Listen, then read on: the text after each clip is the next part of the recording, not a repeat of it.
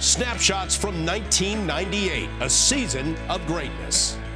On May 17th, David Wells turned Beanie Baby Day at the stadium into an afternoon that will never be forgotten. Facing Minnesota, Wells threw the 15th perfect game in Major League history and the first by a Yankee since Don Larsen in the 1956 World Series.